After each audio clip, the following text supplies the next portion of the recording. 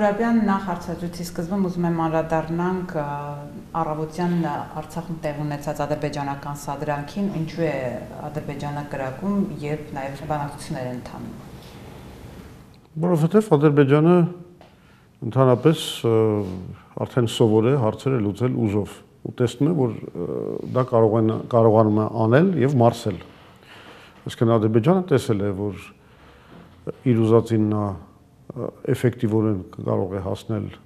ուժի կիրառմամբ եւ տեսել է, որ միջազգային հանրությունը ոչ մի լուրջ հակազդեցություն չի կատարում։ Ոչ Ռուսաստանը, որպես խաղապահ ուժերի ներկայացիչ, ոչ էլ միջազգային հանրությունը իդեմս արևմուտքի։ Ոչ ոք, ոչ մի լուրջ հակազդեցություն Ադրբեջանի նկատմամբ չունեն, որովհետև Ադրբեջանը բոլորի համար շատ ստրատեգիապես ավելի կարևոր երկիր է դարձել հիմա, քան Հայաստանը։ Պարզ իրողություն է։ Ոչ մեկ չի ուզում միջամտել այս հակամարտության զուտ նրա համար, որ Ադրբեջանն ավելի կարևոր է իրենց համար, քան Հայաստանը կամ Արցախը։ Դե բոլորը ինչ որ պլաններ ունեն Ադրբեջանի հետ եւ այդ պլանների իրագործման համար նրանք պատրաստ են շատ հանդուրժողաբար նայել այն գործողություններին, որ անում է Ադրբեջանը։ Այսինքն բոլորն էլ ունեն գործիքակ կազմ ինչ որ ձևի ազդելու Ադրբեջանի վրա, բայց ոչ ոչ ոք ոչ ոքի համար հարցը այնքան կարը չի կարևորվել այն աստիճանի, որ որ իրենք այդ, այդ գործիքակազմը կիրառեն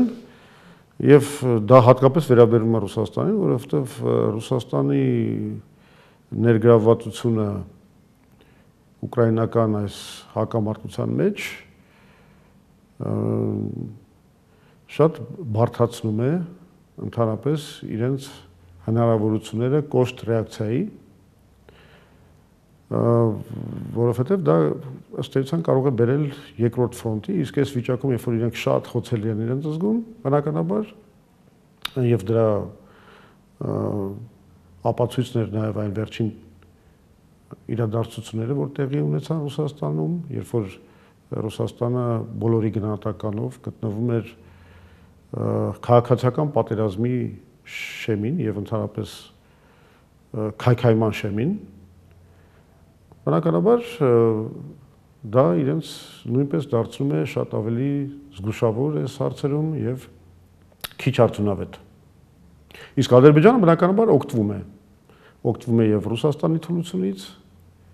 օգտվում է նրանից, որ նաև արևմուտքը չի ցանկանում որևէ կերպ պատժել Ադրբեջանին այդ ագրեսիվ գործողությունների համար։ Ռուսաստանը մի կողմից չի ուզում, որ երկրորդ ճակատ բացվի, բայց մյուս կողմից էլ Ռուսաստանի խաղապահների պատասխանատվության գոտում է նման սադրանքներ իրականացում։ Սա վարկանշային առումով նաև լուրջ հարված չի հենց Ռուսաստանին։ Վարկանշային առումով Ռուսաստանը այնքան հարված ստացավ այս ընթացքում, իսկ ասենք Պրիգոժինի ապստամբությունը դա վարկանիշային հարված չէր, շատ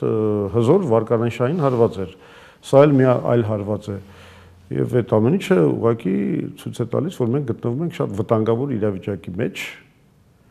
որտեղ այո, եթե Ռուսաստանը թուլացել է եւ բարես բուն իմաստով փորձում է զերծ մնալ որևէ նոր բարթացումներից, բնականաբար այսպեսի բաներ կլինեն։ Նիկոլ Փաշինյանը քիչ առաջ գրառում է արել եւ համարել է, որ հարավային Կովկասում ապա կայունացման բարձր ռիսկ կա անդրադառնալով Արցախում տեղ ունեցած սադրանքին։ Ստացվում է, որ լայնամասշտաբ ինչ որ գործողության ռիսկ կա այս պահին։ Իհարկե կա։ Ես իհարկե չեմ ցանկանա այդ ռիսկերի պատճառների համար մեղադրել Փաշինյանին, չնայած իր կողմից այդ ռիսկերի կառավարումը ինքնին լրացուցիչ ռիսկ է, բայց փաստը մնում է փաստ, որ իսկապես շատ մեծ ռիսկեր կան, հատկապես Հայաստանի համար։ Շատ ակնհայտ բաներ են կատարվում։ Աշխարհը ընդհանրապես հիմա անգամ գերտերությունները աստիճանաբար մոտենում են ռիսկային գոտի, որ, որովհետև հարցը դրված նաև այդ գերտերությունների ապագայի մասին եւ նրանց դիրքերի մասին Իհարկե գերտերությունները մի քիչ ավելի ապահով իրավիճակում են, քան փոքր երկրները, որոնք այդ գերտերությունների այդ շահերի պայքարի հենց խաչմերուկում են գտնվում բայց այդ խնդիրը կա, այդ խնդիրը կա եւ հատկապես դա դժվար է Հայաստանի համար, որովհետեւ մենք տեսանք, որ ամբողջ այս համակարգը կարող է փլուզվի, ես նկատի ունեմ ռուսական անվտանգության համակարգը, որի որի հետ Հայաստանը կապված է, կարող է շատ հեշտ փլուզվի։ Ես իդեպ մի քանի հարցազրույցում արդեն բա ես շատ վաղուց եմ ասել, որ եթե ասենք Ռուսաստանը պարտություն կրի, դա կարող է բերել նաև քաղաքացիական պատերազմի Ռուսաստանում։ Մենք տեսանք, որ այս կանխագուշակումները օթից վերցած չէին, որ եւ դա իսկապես մեզ համար շատ վտանգավոր զարգացում է։ Այսօր Արցախի խորհրդարանը դիմել է Վաշինգտոնում գտնվող Հայաստանի պատվիրակությանը, որ เป զի անհապաղ դադարեցնեն բանակցությունները միջև այն պահը, երբ շփման գծում սահմաններում Հայաստանի եւ Արցախի լիակատար հրադադար կհաստատվի եւ նաեւ նրանք ասում են, որ դա նաեւ փաստաթղթով պետք է լինի։ Ինչ ազդեցություն կունենա այս խոսքը։ Պետք է եւ ընդհանրապես պետք է դադարեցնել Վաշինգտոնյան բանակցությունները։ Այսինքն ես հասկանում եմ ինչ է փորձում անել հայաստանյան պատվիրակությունը կամ հայաստանյան իշխանությունները։ Նրանք փորձում են Վաշինգտոնին դնեն մի իրավիճակի առաջ, որ եթե այդ Ամերիկայի ճնշման ներքո հարցը չի կարգավորվում Հայաստանի պատվիրակության կամ իշխանությունների ուզածի պես նրանք մի քիչ անհարմար վիճակի մեջ են դնում Ամերիկայի իշխանություններին, դադարեցնելով այն բանակցությունները, որոնք տեղի են ունենում նրանց հովանու ներքո։ Բայց գիտեք ինչ, ես իսկապես շատ ցածր կարծիքի եմ մեր դիվանագիտության այսօր վարած դիվանագիտության մասին եւ նրա կարողությունների մասին եւ նրա մասին, որ ընդհանրապես այսօրվա այսքան թուլացած Հայաստանի հարցադրումները կամ պահանջները ընդհանրապես որ, որևէ մեկը ցանկանում է հաշվի առնել։ Շատ շատ լուրջ կասկածներ ունեմ։ Երեք Նիկոլ Փաշինյանը խորհրդարանում էր, երկրորդ անգամ մասնակցում էր քննիչ հանձնաժողովի աշխատանքներին, որտեղ անդրադարձավ նաև ընդդիմադիր հատվածից հնչած տեսակետներին, այդ թվում նաև ձեր հայտարարություններին։ Մասնավորապես ես մի քանիսին անդրադառնամ, 97-ի փուլային տարբերակով տարածքային ամբողջականության մասին խոսք չկար, իսկ Արցախն ստանում էր միջանկյալ ստատուս։ Իրենք մեջբերել էին ձեր խոսքերը, որին ի պատասխան Նիկոլ Փաշինյանը ձեզ հորդորեց, որ կարդակ Տեր Պետրոսյանի պատերազմ թե խաղաղություն լրջանալու պահը հոդված։ Հա, չէ, իրականում դուք մի քիչ շատ կարճ ներկայացրեցիք այդ զրույցը։ Իրականում նա ստիպված էր ընդունել որոշ իրողություններ, ավելին ասեմ, կամ կմալով, մտքերը խառնելով, շատ անգրագետ բաներ ասելով եւ այլն տարավ խոսակցությունը լրիվ այլ ուղությամբ Իսկ հետո երբ որ Վահագն Ալեքսանյանը նրան դեմ տվեց իմ երկրորդ ցիտատը մեջբերումը, որտեղ ես ավելի հստակ ասում եմ, որ 97 թվականի փուլայոնով ձերքեր ստեղծվել էր լուծման մի հնարավորություն, որով Ադրբեջանը չէր լինում ներողություն Ղարաբաղը չէր ճանաչվում Ադրբեջանի կազմում, այսինքն նման լուծում չէր առաջարկվում, ոչ էլ անկախ էր ճանաչվում բնականաբար, ասենց միջանկյալ մի կարգավիճակ էր ստանում, որպես Ադրբեջանին եւ Հայաստանին իրավահավասար կողմ, որը իրավունք ունի եւ խաղաղության պայմանագիրը ստորագրել եւ նաեւ իր դիրքորոշմամբ ընդհանուր միջև վետոյի իրավունքի ազդել իր վերջնական կարգավիճակի ընդունման վրա։ Եվ սա ես գնահատեցի սա որպես իրավիճակ, որը բացում էր դուռը դեպի անկախություն։ Այ այդտեղ է, որ Փաշինյանը ինձ խորհուրդ տվեց, որ ես կարդամ պատերազմ եւ խաղաղություն պատերազմ կամ խաղաղություն, ներողություն, պատերազմ եւ խաղաղությունը դա Լև Տոլստոյի բանն է, վեպն է։ Հա, կամ խաղաղություն հոդվածը եւ բնականաբար չբացատրեց ինչի ես պիտի կարդամ մի հոդված, որը բազմիցս կարդացել եմ եւ որը որը շատ լավ գիտեմ։ Ընդհանրապես այդ ինքը այնտեղ մի նախադասությունից է բռնվում, այդ նախադասությունը մոտարապես հետեւյալն է, որ Տեր Պետրոսյանը ասում է, որ Լեռնային Ղարաբաղի անկախության հարցում մենք որևէ դաշնակից չունենք։ Okay, այդ նախադասությունը շատ լավ գիտեմ, Փաշինյանը չի, որ ինձ պետք է սովորացնի այդ նախադասությունը, բայց այդ նախադասությունից բացարձակապես չի հետևում այն եզրակացությունները, որ ինքը անում է։ Սկզբից ինքը առաջի իր ելույթներից մեկում ասաց, որ ըստ էության ասում է, որ անկախություն հնարավոր չի։ Երբ որ ես հրաապարակայնորեն հակադարձեցի եւ ասացի, որ իրականում տերպետություն տենց բան չի ասում, ընդհանրապես իր հոդվածում որևէ նման ակնարկ անգամ չկա։ Ինքը սա մոռացել է, սա մի կողմ է դրել, այլևս չի կրկնում դա, բայց հիմա էլ մի այլ սուտ է մոգոնել, այսինքն որ իբր թե արդեն առանց մեկնաբանության, առանց առանց որևէ հիմնավորման, առանց մեջբերման, ասում է որ Տեր Պետրոսյանը փաստորեն չէր տեսնում անկախության հնարավորություն Հայաստանի համար։ Բայց ես 100 անգամ այդ բացատրել եմ։ Ու Տեր-Պետրոսյանն էլ է, իդեպ 97 թվին այդ հոդվածը հենց այդ այդ այդ տրամաբանության մեջ գրել,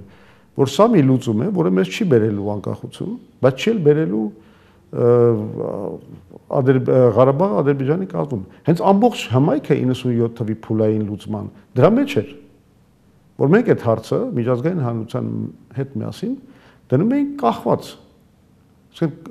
այդ հարցը մնում էր կախված, Ղարաբաղը ոչ ճանաչվում էր որպես անկախ պետություն, ոչ ճանաչվում էր որպես Ադրբեջանի կազմում, բայց մենք ունենում էինք արդեն միջազգայինորեն լեգիտիմացված վերահսկողություն Ղարաբաղի նկատմամբ եւ Ղարաբաղը Հայաստանին կապող տարածքների նկատմամբ։ Այս ամենակարևոր ձեռքբերումն էր։ Այսինքն պատերազմը ավարտվում էր,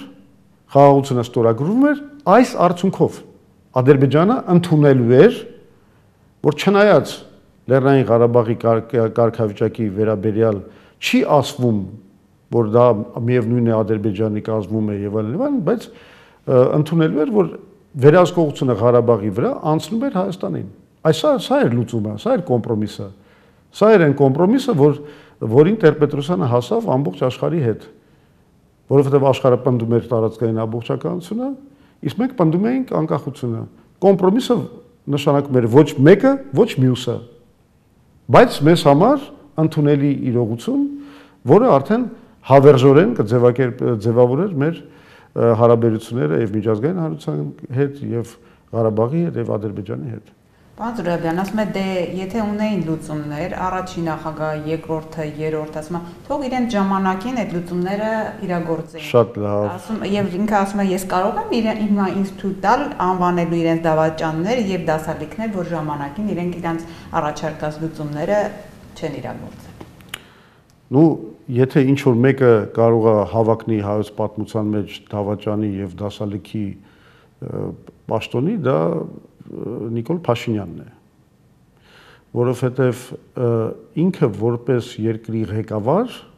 իրան պահել է ըստ էության դասալիքի պես, երբ որ ինքը ստանձնել է մոդերատորի կարգավիճակը։ Այսինքն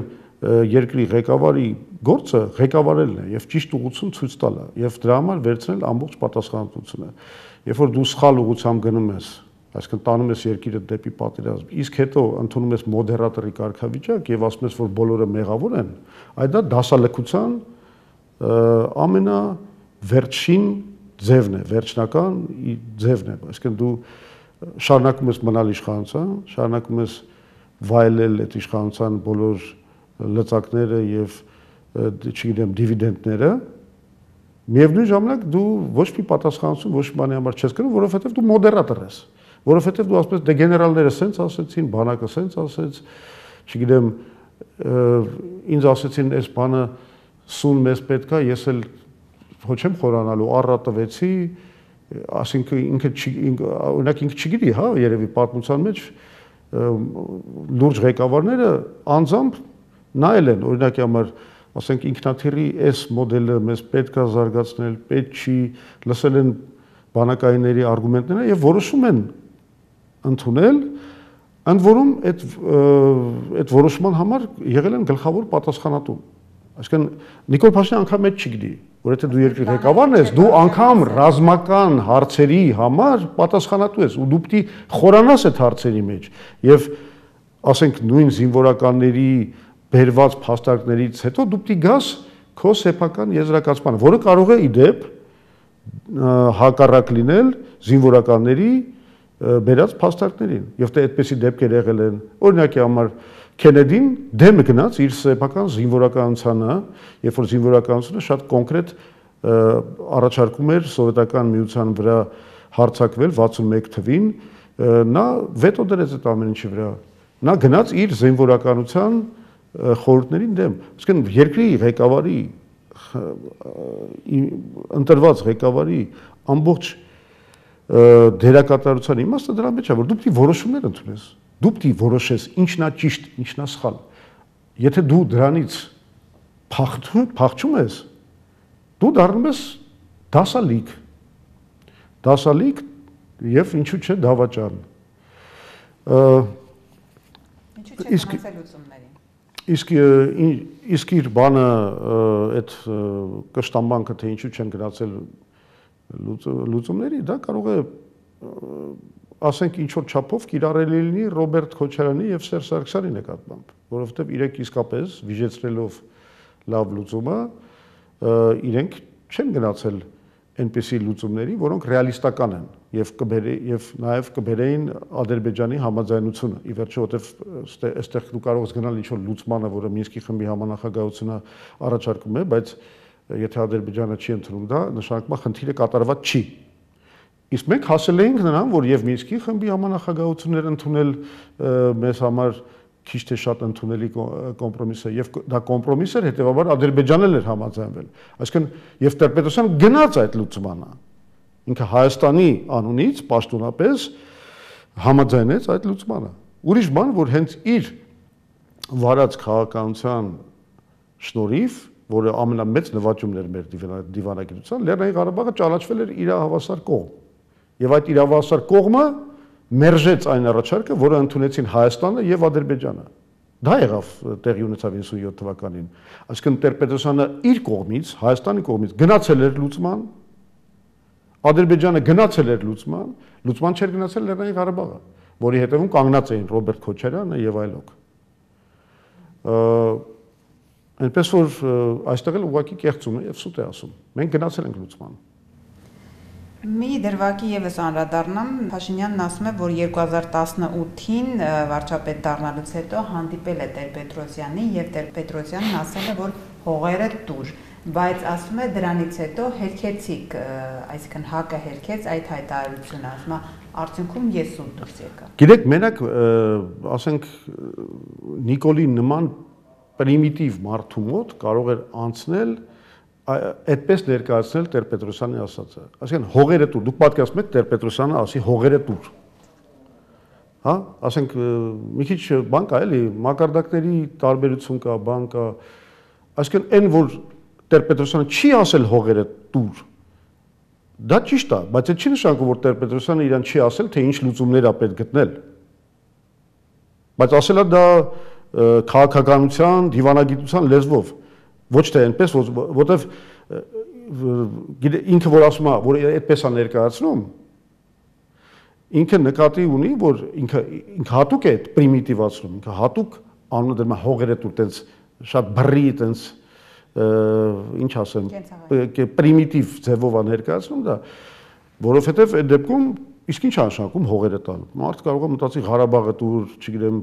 եթե պետք լինի մեղրին էլ դուր չէ ինչ ա եղել հողերը տալ ինչ հաշանակում։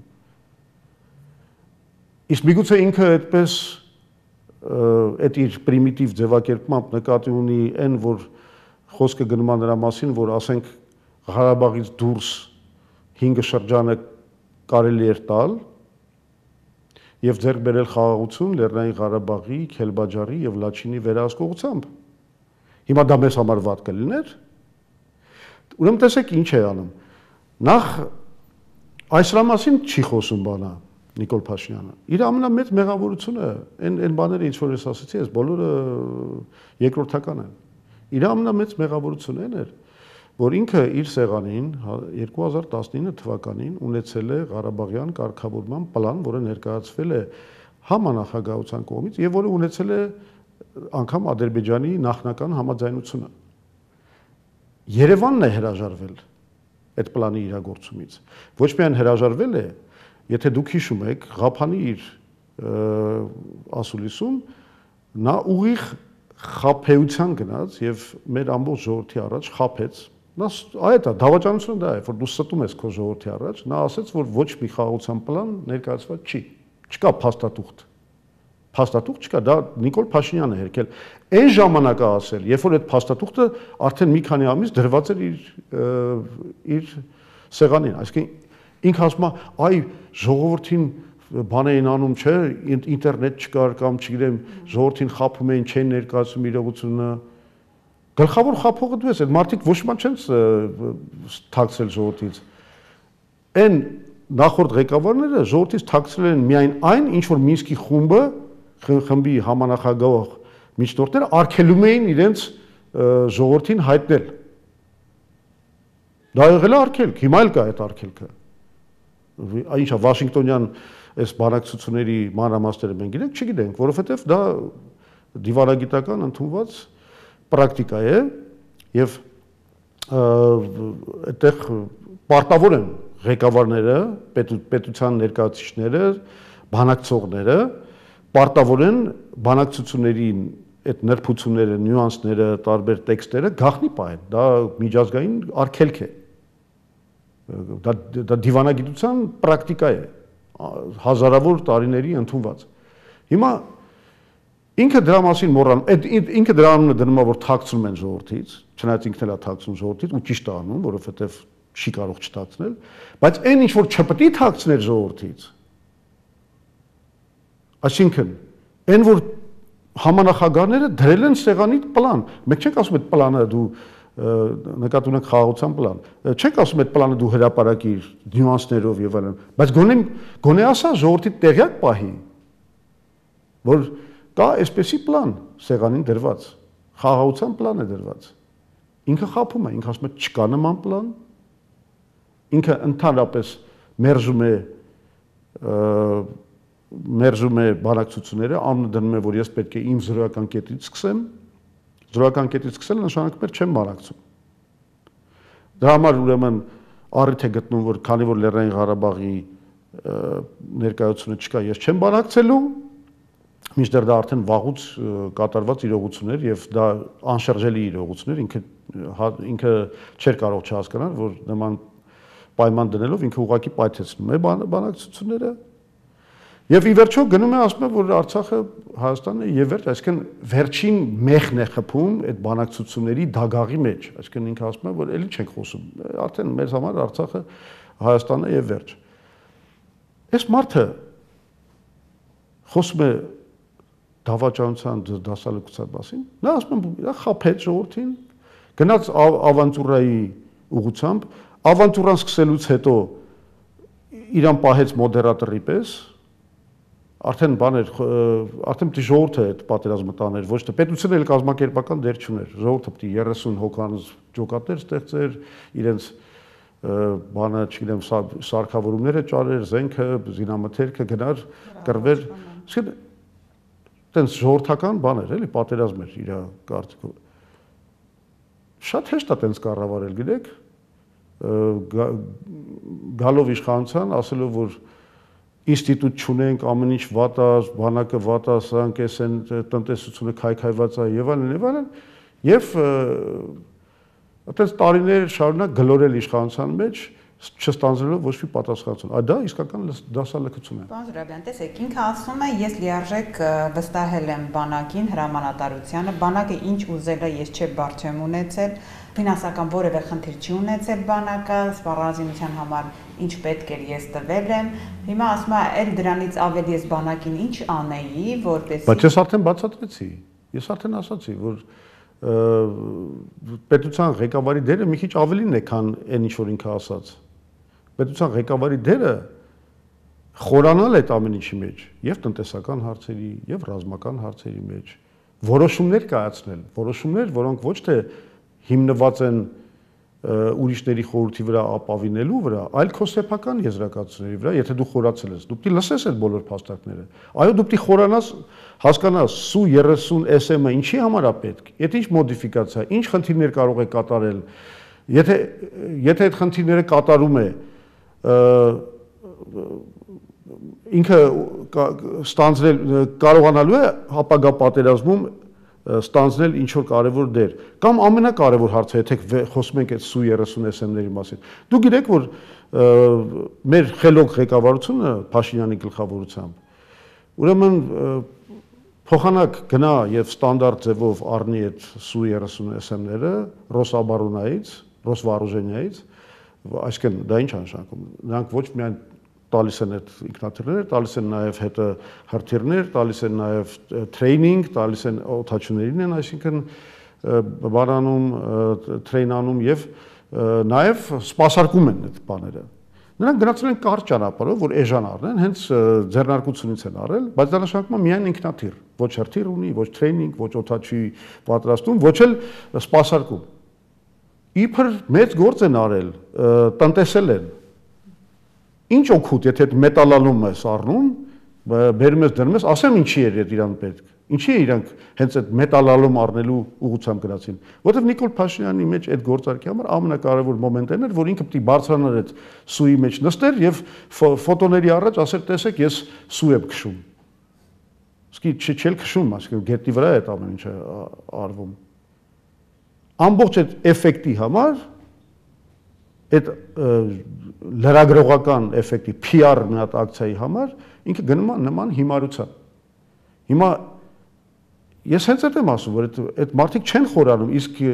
քեզ դու այդ հասկանում ես ինչա նշանակում SU 30 SM, ինչի համար է պետք դա առնել եւ առնելու դեպքում էլ ո՞նց է պետք առնել, որ ճիշտ լինի այդ ամեն ինչը։ Ոչ, չի հասկանում։ Ու այս մոտեցումը ցանկացած գործում է Ես դրա համար եմ մեղա ասում, որ նրա ֆիգուրը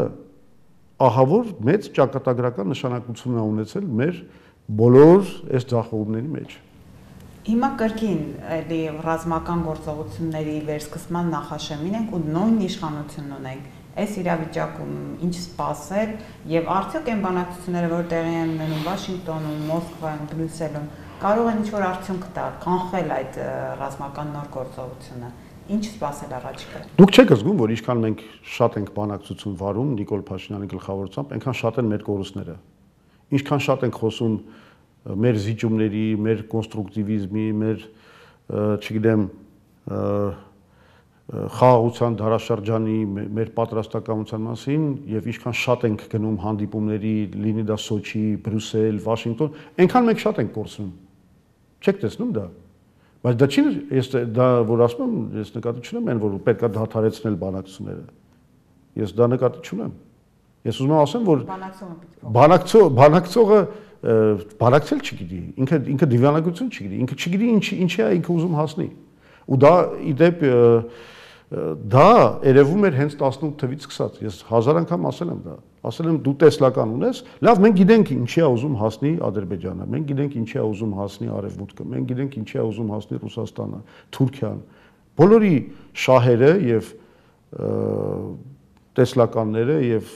ցանկալի զարգացումները մեզ համար པարզ են։ Մի բան པարզ է, պարոն Զուրաբյան, Նիկոլ Փաշինյանն ուզում է Հայաստանի կադաստրի վկայական ունենալ։ Չէ, այդ կադաստրի վկայական վկայականը դա վերջում եղավ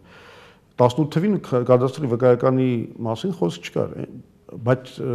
այդ հարցը մի քանի անգամ ես դրել եմ ասել եմ որն է քո տեսլականը եթե դու գնում ես բանակցությունների դու պետք է ասես ես էս եմ ուզում որոք ադրբեջանը ասում է ես էս եմ ուզում ասել մենք լուծում չենք առաջարկել մենք զբաղվել ենք մերժելով Կամ երբ որ գաղթերից տվել են ընդունելով ինչ որ բան։ Բայց բանակցությունները այդպես չեն վարում, է։ Բանակցություններում դու գնում ես դու մի հատ քո քո պլանն ես ունենում, քո քո տեսլականը, քո ցանկությունները ձևակերպված լեգիտիմ, հասկանալի բոլորի համար, այդ ցանկությունները ձևակերպված, դրանով գնում ես բանակցությունների։ Այդ դեպքում ամենակ բանակցությունը դառնում արդյունավետ, որովհետև այդ դեպքում հասկանում են դու ինչ ես ուզում։ Բայց մենք երբեք որևէ պլանով դու հանդես չեք անք լուծման։ 90-ական թվականներին պլաներով դուրս էին գալիս, մենք միշտ նախաձեռնում ենք։ Անկամ Ռոբերտ Քոչյանը, Սերժ Սարգսյանը, ու ավելի շատ Ռոբերտ Քոչյանը, որ ընդհանրապես ձևի համար էր բանակցում, բայց ինքը շատ լավ հասկանում էր մի բան եւ ինքը եւ Վարդան Օսկանյանը, որ պետք է միշտ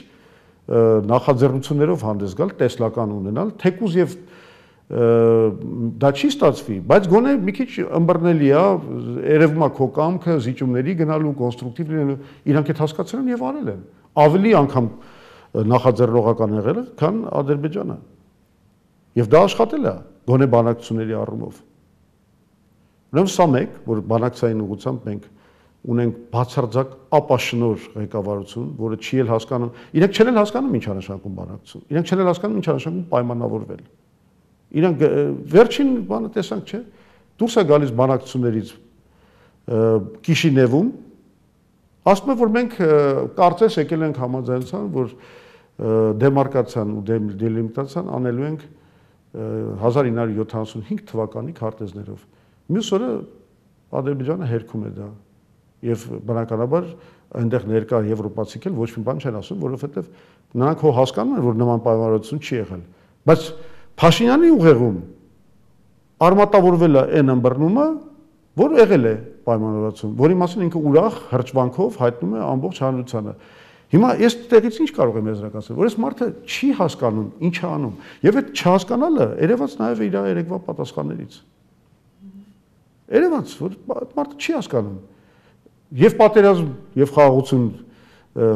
հոդվածը չի հասկանում, տեքստը չի հասկանում, կարդում է ու չի հասկանում։ Կամ անում է եզրակացություններ, որոնք այդ տեքստում չկան։ Եվ չի հասկանում էլեմենտար բան։ Օրինակ համար ես մատ բարձ բան ասեմ, ՄԱԿ-ի անվտանգության, այդ որ ինձ հակաճառում է, հենց այդ Վահագն Ալեքսանյանը որ ներկայացրեց իմ փաստարկները, ինձ հակաճառելով ինքը ասում է ՄԱԿ-ի անվտանգության խորհրդի 1993 թվականի բանաձևերում գրված է հիմա ես լավ կձևակերպեմ, ինքը լավ չի ձևակերպում, որ տարածքների ձեռքբերումը ուժի միջոցով անթույլատրելի է։ Ինքը այդպես չձևակերպեց, ինքը լրիվ խառնեց այդ ձևակերպումը, որը չի համապատասխանում անգամ բանաձևի տեքստին։ Բայց ես հասկացա ինքը ինչ է ասում։ Ուրեմն այս բանը այ այդ իմ ձևակերպմամբ իսկապես կա բանաձևում Բայց Նիկոլ Փաշինյանը անգամ չգիտի դա ինչին է վերաբերվում։ Դա այդ այդ վերաբերվում է Քելբաջարի, Աղդամի, Ֆիզուլի, Ջեբրայելի, Ղուբատլի եւ Զանգելանի գրավման խնդրին։ Այսինքն դա է աշխարհը համարում անթույլատրելի ուժի ուժի գնով նման տարածքներ ձեռք բերելը։ Ոչ թե Ղարաբաղը, ոչ էլ անգամ Լաչինը։ Այսինքն, եթե ինքը կարդալ իմանար այդ փաստաթղթերը, ազգ բանի ՄԱԿ-ի անվտանգության խորհուրդ ինքը հասկանար, որ աշխարհը կոպիտ ասած օքեյ է Ղարաբաղի տարածքի այդ տարածքի վերահսկողության հետ մեր աշխարհը օքեյ անգամ Լաչինի վերահսկողության հետ, որտեղ աշխարհը հասկանում է, որ այդ կապը պետք է։ Բայց դրանից հետո ամեն ինչ արդեն համարում է այո անթույլատրելի տարածքների անթույլատրելի ձեռքբերում։ Դրա համար էլ բոլոր պլանները կառուցած են եղել այդ տարածքների վերադարձի շուրջ։ Բայց այդ տարածքների վերադարձով, որը անխուսափելի էր, միշտ էլ մենք դրա մասին Տեր-Պետրոսյանը 93 թվականից էլ ասել է, որ անխուսափելի է, դա է վերադարձենք, այո։ Բայց է ձեռք բերենք ռեալ Ղարաբաղի ինչ ասեմ, կարգավիճակը, այդ միջանկյալ ազատությունը, որը որը միջազգային օրենքով էր արդեն երաշխավորվելու չի հասկանում այդ մարդը կարդում է այդ տեքստերը ու չի հասկանում բանակցություններում խոսումա չի հասկանում ինչ են իրան ասել լսեք սա լուրջ խնդրեմ է սա մեր անվտանգության խնդիրն է եթե երկրի ղեկավարը տեքստերը չի հասկանում սա բան է անվտանգության խնդրեմ է։ Բայց հələ բանակցությունները մի կողմ դրանք։ Բանակցությունների հիմքը բանն է, մեր ուժն է, մեր պաշտպանունակությունն է, մեր բանակն է, մեր սպառազինություններն են։ Եթե դու ուժեղ չես, ոչ մի բանակցություն քեզ չի փրկի։ Եթե դու գոնե գոնե այնքան ուժեղ չես, որ կարողանաս գին փաթաթես հակառակորդիդ վրա իր նկարտումների համար դու ոչ բանակցություն քեզ չի բրկի բայց ինքը այդ այդ ոլորտն էլ չի անում այսինքն դու քո ուժը չես մեծացնում, դու բանակդ չես հզորացնում, դու ֆորտիֆիկացիաներ չես սարքում, դու ընդհանրապես ոչ բան չես անում, դու ամեն անգամ մեկ էլ հայտնաբերում ես, որ ադրբեջանցիք եկել են ինչ-որ բան գրավել են։ Դու ոչ մի բան չես անում, ոչ մի բան չես կանխատեսում, Հետո գնում ես բանակցությունների, որոնցում ոչ մի բան չես հասկանում։ Ելքը ինչ է լինելու։ Ելքը դա լինելու ինչ որ մենք տեսնում ենք հիմա։ Պարոն Զուրաբյան, դուք ձեր հակափաստարկներն եք ներկայացնում, բայց նույն հանձնաժողովի նիստի ժամանակ Անդրանիկ Քոչարյանը, որը հանձնաժողովի նախագահն է քննիչ, ասում է, որ ինչու առաջին դեմքերը չեն պատասխանում եւ պատասխանում են իրենց թիմակիցները։ Ձեր մասով էլ, այսպես ասած, իր բարերով ասած, ասում է Լևոն Զուրաբյանի ասածը կոպիտ ասած ասնավանի չէ։ Թող Տեր Պետրոսյանը խոսի այդ ամենի մասին։ Դե տեսնում եք, արդեն իրանց բառապաշարով էլ իրենք ցույց են տալիս, որ ասենք սուտի գողականի պանյատներով առաջնորդվող մարդիկ են, այսինքն որտեվ այդ լեզուն ասնավանի չի, չգիտեմ ինչ չի, բան, ասենք դա բանա գողականի լեզու է։ Նո ընդ որում իրանց դեպքում դա սուտի գողական գողականության մասին է։ Այս մարդկանց համար հենց այդ է խնդիրը, որ իրենք ոչ թե փաստի, փաստի մասին են խոսում կամ փաստի շուրջ են խոսում ներկայացված, ոչ թե փաստարկի շուրջ, Այլ իրանց համար կարևորը մի հատ ասնավանյա, տենց մի հատ հեղինակություն լինի, ավտորիտետ լինի, որը բան ինչ որ մի բան ասի, այդ ժամանակ ասնավանյա։ Ասեն իրենք չեն պատասխանում փաստարկներին։ Ասենք մենք խոսում ենք փաստարկների մասին։ Եվ միջազգային քաղաքականության մեջ միայն այդ լեզուն է, փաստարկների լեզուն է։ Իրանք խոսում են իրանք խոսում են լավ, քանի որ Լևոն Զուրաբյանն է ասել, Տեր-Պետրոսյանը չի ասել, ուրեմն ինչ։ Նախ Տեր-Պետրոսյանը ու Լևոն Զուրաբյանը ոչ մի տարբեր բաներ չեն ասում։ Լևոն Զուրաբյանը ի տարբերություն Անդրանիկ Քոչարյանի, Նիկոլ Փաշինյանի եւ այլն չի վիճում ինչ որ ավտորիտետների հետ։ Ես վիճում եմ փաստարկների հետ կամ փաստարկների բացակայության հետ հասկանում եք այսինքն մեզ համար կարևորը ճշմարտությունն է ոչ թե ով է դա ասում դրա համար դրա համար եմ ես էլ եմ այդ ճամբարում գտնվում նույն մոտեցումը ունի Տեր Պետրոսյանը հասկանում եք եւ ես դրա համար եմ Տեր Պետրոսյանին հարգում ոչ թե դրա համար որ բանակ ինչ որ ասենք ինքը ինչ որ մի հատ ավտորիտետ է որը ինչ ասել պետք է ընդունես չէ դրա համար չէ Տեր-Պետրոսյանը ուղղակի ասում է փաստարկներով է խոսում եւ ասում է ճշմարտությունը։ Ինձ համար դա է ամեն ինչից վեր, ոչ թե մարդկանց հեղինակությունը եւ այդպես պետք է լինի բոլորի համար, բայց ոչ թե այս սուտի գողականների համար, որոնք այդ այդ մտածելակերպով, այդ բառապաշարով, այդ այդ քուչի պատկերացումներով, քուչի լակոտների են, որոնք ոչ թե այնեղ կարևոր մարդկանց, քուչի լակոտների պատկերացումներով են դատում նաև եւ ներքին քաղաքականությունը եւ արտաքին քաղաքականությունը, ինչը նույնպես պատճառ է նրանց բոլոր ցախողումների